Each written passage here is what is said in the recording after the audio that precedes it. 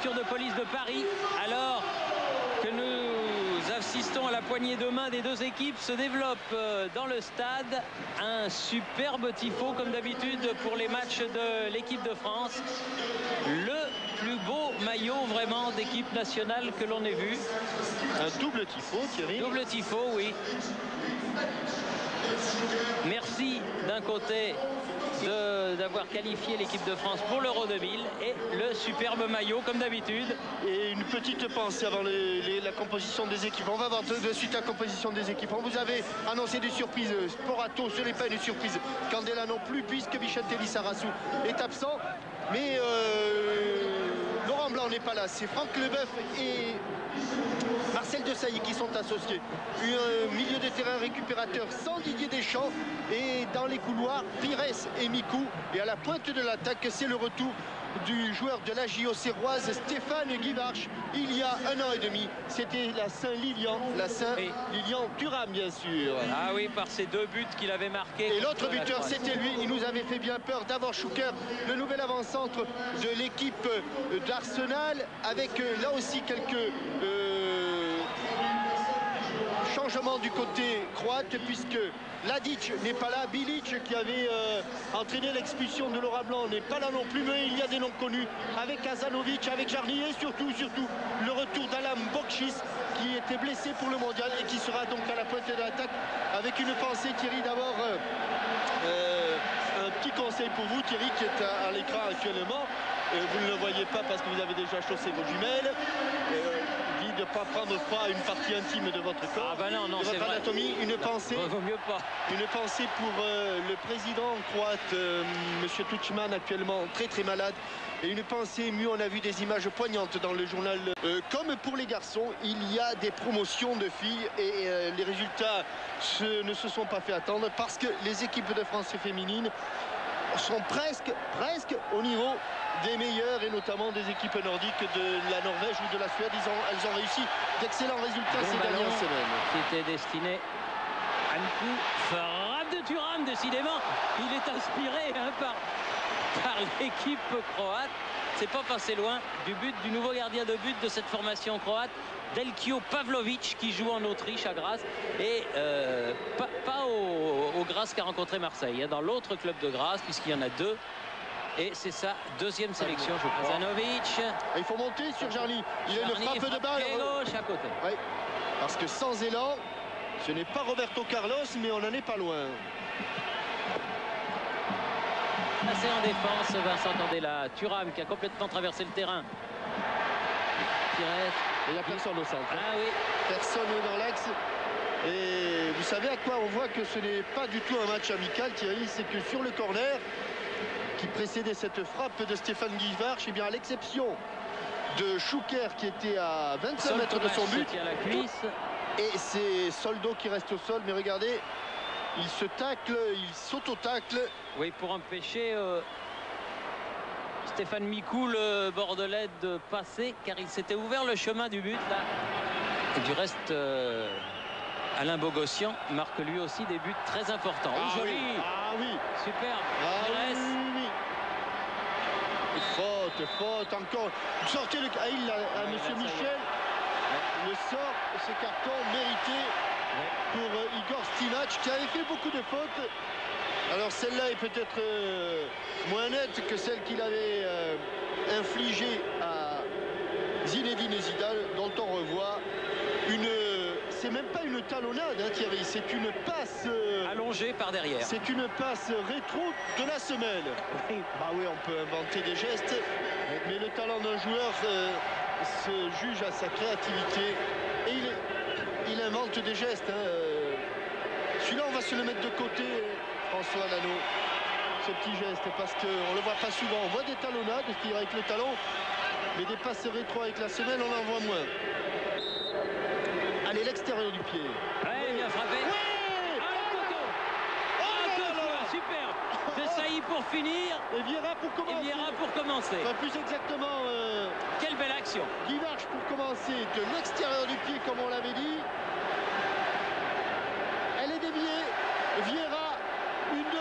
Et excellente euh, parade, grande parade de Dalishko Pavlovic. Et recorner avec la réponse, si toutefois vous ne la connaissez pas, cette réponse, attention Zidane. Oh oui, il a failli ah, son camp. Ah, il aurait pu... Non. Ah, ah, l'arbitre était sur le chemin, mais Mikou l'a récupéré, bonne frappe.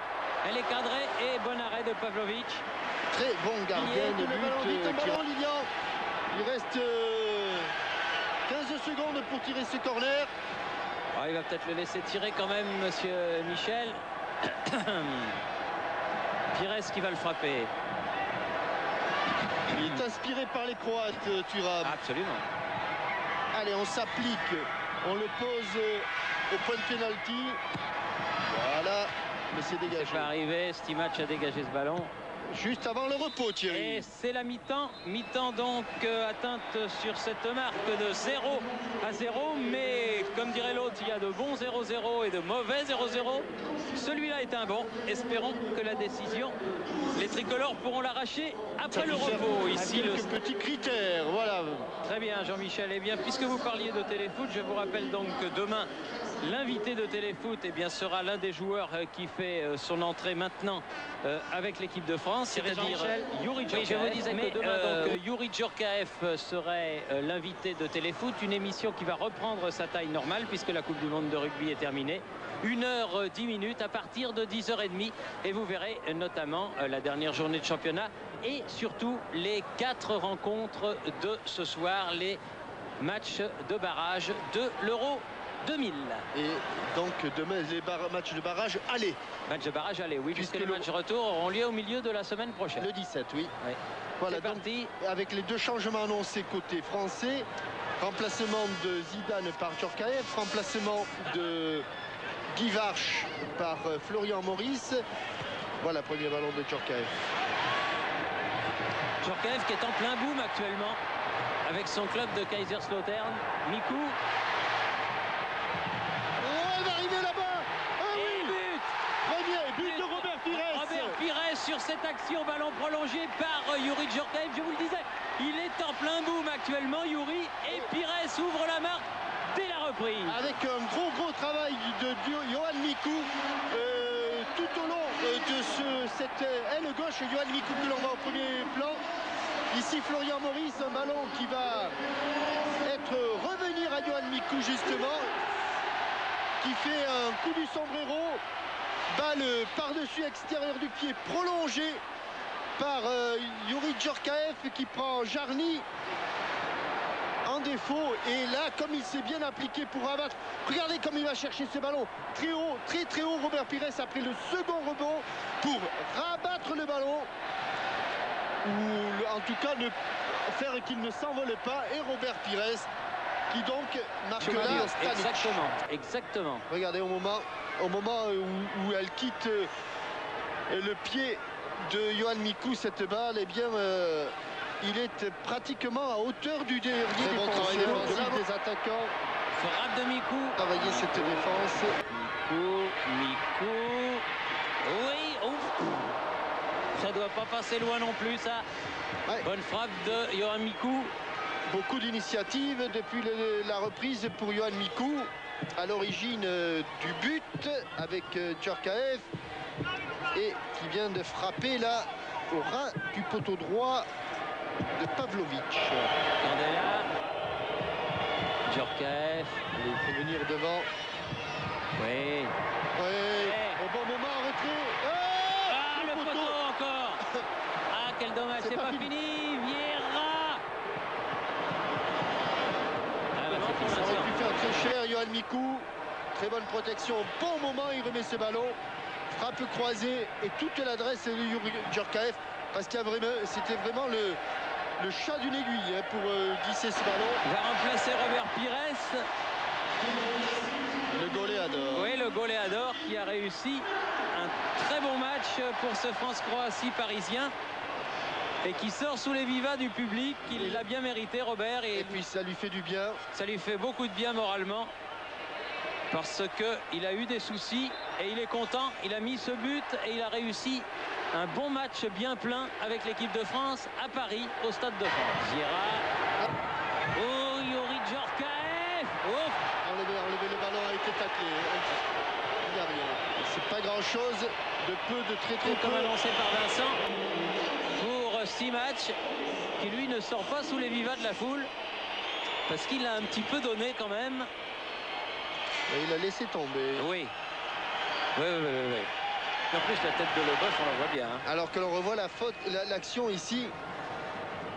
Et il pousse le ballon. Il n'y a strictement rien. C'est proprement fait de la part de Thomas qui pousse le ballon à son gardien de but. Kazanovic. Thuram avec Vérel. Bien fait. Allez, jusqu'au bout. Thuram qui va pouvoir centrer. Et but But de Florian Florian Maurice. Maurice. Quelle belle action Il n'a pas marqué Thuram, mais il est passeur. Le tout à la 21 22e minute de cette deuxième mi-temps. Oh, ils sont partis de loin les Français. Ils se, 67e minute. ils se sont retrouvés à 3 contre 2 et ils n'ont pas laissé passer une, une aussi belle occasion avec Johan Mikou pour euh, Lilian Thuram qui va aller jusqu'au bout. Mikou va laisser passer ce ballon. Volontairement ou involontairement en tout cas ça permet de ça permet à ah non je pense qu'il veut la prendre euh, Johan Mikou mais finalement Zivkovic et Mikou passent au travers et c'est Florian Maurice complètement esselé au second poteau. Il double la mise. Ouais, voilà, il doit certainement faire plaisir à Roland Courbis de voir ses attaquants Robert Pires et Florian Maurice marquer. Et Florian Maurice, c'est son premier match euh, au Stade de France avec l'équipe de France. Un peu loin pour la frappe. mais. Non, fait, s'est oh, pas gêné. Oh là là là là là là là Il s'est une, gêné. Deux. Hein. Une, deux avec euh, le poteau.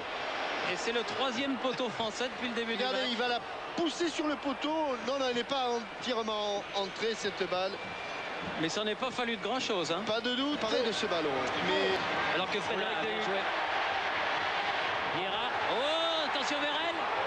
Et but c'est une correction. But de Vérel sur cette ouverture magistrale de Vieira. Tony Vérel marque le troisième but de l'équipe de France. Ah, il faut qu'ils se reprennent les, les Croates. Parce que là, sont en train de prendre l'eau. Et les Français en profitent. Superbe but. Piquée de Tony Vérel.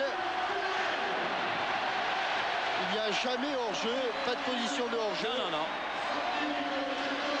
Et là, à la Alain Giresse, Tony Vérel met ce ballon au fond des filets sans problème. Et Bogossian qui vient de sortir, remplacé par Frédéric Dehu. À 3-0, ça commence effectivement à faire cher. Quand on sait qu'il y a eu trois poteaux en plus, Ah oui, ça pourrait faire très très cher. ça pourrait faire un, oui, un fort paquet de buts. oui. Quand on dit euh, ah oui pour marquer des buts il faut des attaquants, des attaquants. Et vous voyez là il est de, plus il est mis d'attaquants euh, euh, Blazevic, moins il a d'occasion Oui. et plus il en prend ça fait des grands boulevards. Bien joué. Juste avant la, oh le championnat d'Europe, les Français, Saric, donc à la place de Rukavina. Oui, fin tabac. Il est passé. Il est passé. Il faut qu'il s'applique. Il a ripé sa frappe du pied gauche, ouais. euh, Tony Verret.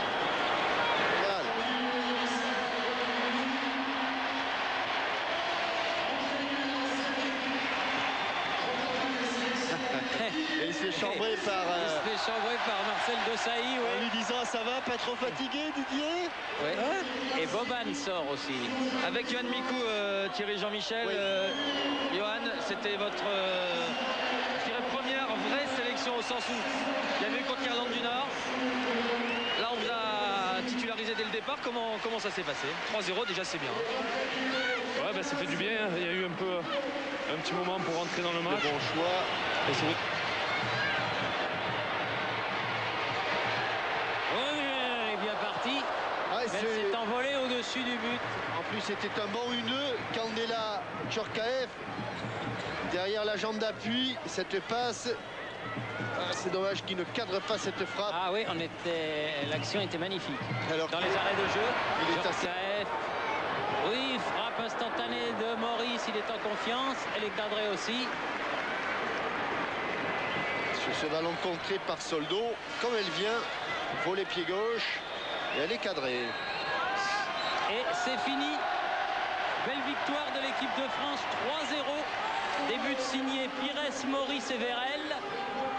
Une victoire qui ne se discute pas et qui doit faire très plaisir aux sélectionneurs. Que va sans doute retrouver Vincent Hardy, je pense.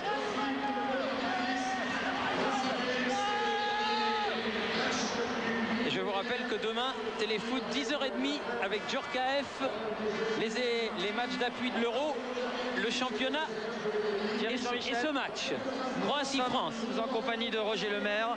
Roger Lemaire 3-0, c'est une bonne chose. C'était le premier match peut-être préparatoire pour l'Euro. Quels sont les, les premiers enseignements que vous tirez de, de ces 90 minutes L'enseignement après le match, c'est difficile, mais ce que je dois dire, c'est que c'est du vrai bonheur. Du bonheur pour tout le monde et moi en particulier. L'euro, ça un peu plus tard. Vous aviez composé une équipe un peu inhabituelle, je dirais que ça a tourné par rapport, c'est c'est l'Euro qui est en vue, c'est cette façon à, à essayer d'emmener les, les meilleurs évidemment, non j'imagine? Bien entendu, si ces gens-là ont été appelés, c'est que quelque part, je sentais euh, beaucoup de qualité, beaucoup d'envie.